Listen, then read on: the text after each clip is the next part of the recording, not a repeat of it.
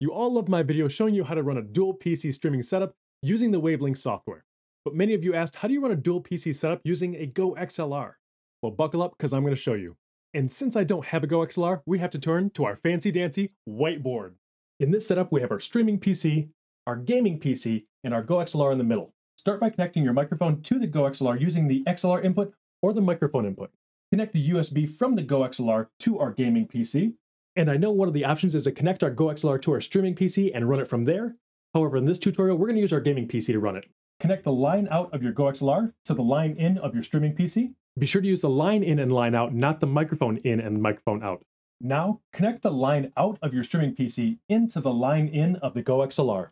This is important if you want to hear those OBS alerts coming from your streaming PC. And finally, connect your favorite pair of headphones to your Go XLR.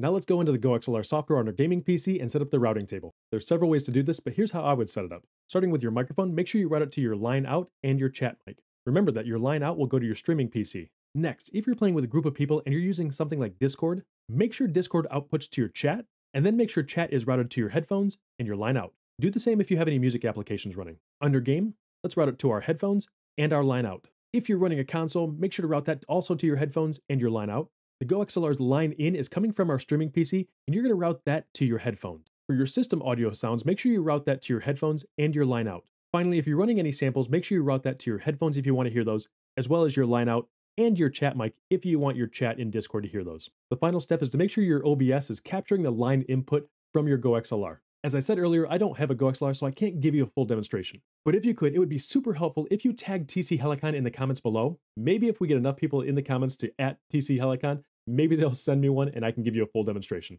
Thanks, and I hope that helps.